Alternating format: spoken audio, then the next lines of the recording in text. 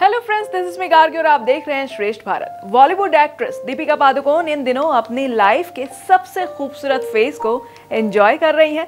वो प्रेग्नेंट है और इसी साल सितंबर महीने में माँ बनेगी। पर पर पर अब दीपिका घर बैठे क्या कर रही हैं? इसकी झलक सोशल मीडिया के थ्रू फैंस के साथ शेयर की है, जिसमें वो धागे से बुनी हुई एम्ब्रॉयडरी की फ़ोटो दिखा रही हैं। साथ में लिखा प्यारा सा कैप्शन उम्मीद है कि मैं कंप्लीट वर्जन शेयर करने में सक्षम होंगी। तो अब इस पोस्ट पर धड़ाधड़ कमेंट्स आ रहे हैं। कहना पड़ेगा कि दीपिका पादुकोण प्रेगनेंसी में भी सोशल मीडिया पर काफ़ी एक्टिव दिख रही हैं। तभी तो इस पोस्ट पर अमिताभ बच्चन की बेटी श्वेता बच्चन ने प्यार भरे दिल वाला इमोजी बनाया है।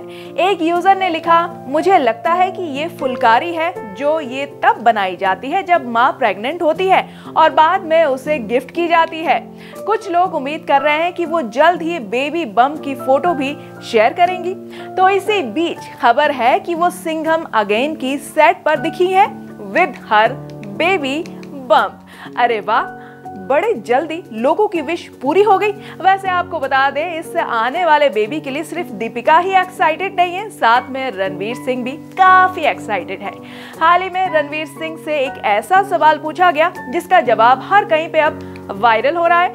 रणवीर सिंह से पूछा गया कि उनको लड़का चाहिए या लड़की? उसके जवाब में रणवीर ने कहा, जब आप मंदिर जाते हैं, तब प्रसाद में लड्डू चाहिए या शीरा, ऐसा कुछ नहीं पूछते ना। जो भी मिलता है, प्रसाद के तौर पर ले लेते हैं।